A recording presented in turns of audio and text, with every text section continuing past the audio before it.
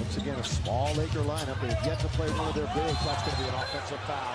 Taking the charge is Austin Reaves. You're talking about making up your mind to do something before you have any chance to read the defense. That time, just running over Austin Reaves is McDaniels. He's there. He leaves his feet. And when you go up, you must come down. And Austin was sitting there waiting. Well, in the department of this is not a news flash, McDaniels now has five fouls. And why do I say that?